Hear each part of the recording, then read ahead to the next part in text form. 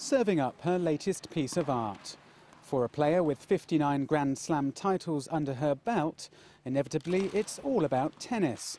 Abstract splodges produced by whacking a paint-covered tennis ball against a target canvas. Using a racket and ball is nothing new to Martina Navratilova, but instead of winning points, she's painting pictures. Martina calls the technique tennising.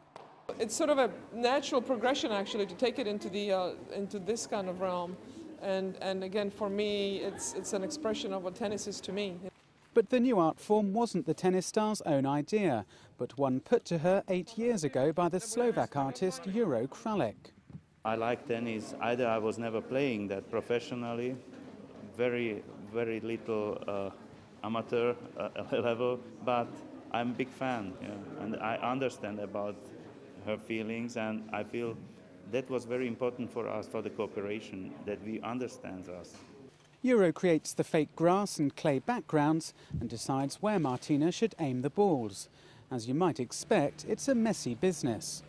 Since they started working together, the pair has created more than 300 paintings, and the latest exhibition in London is putting a selection of them up for sale.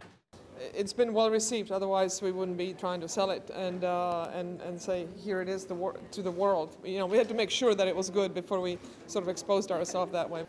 With a cut of the money from sales going to the Laureus Sport for Good Foundation, the artistic duo hope their work will appeal to sports and art lovers alike very impressed, especially when I realised that she's taken part in every single piece. It's really original. I mean, you think it's quite a simple idea, but it's amazing like the different colours she brings out and the different, obviously, techniques she uses.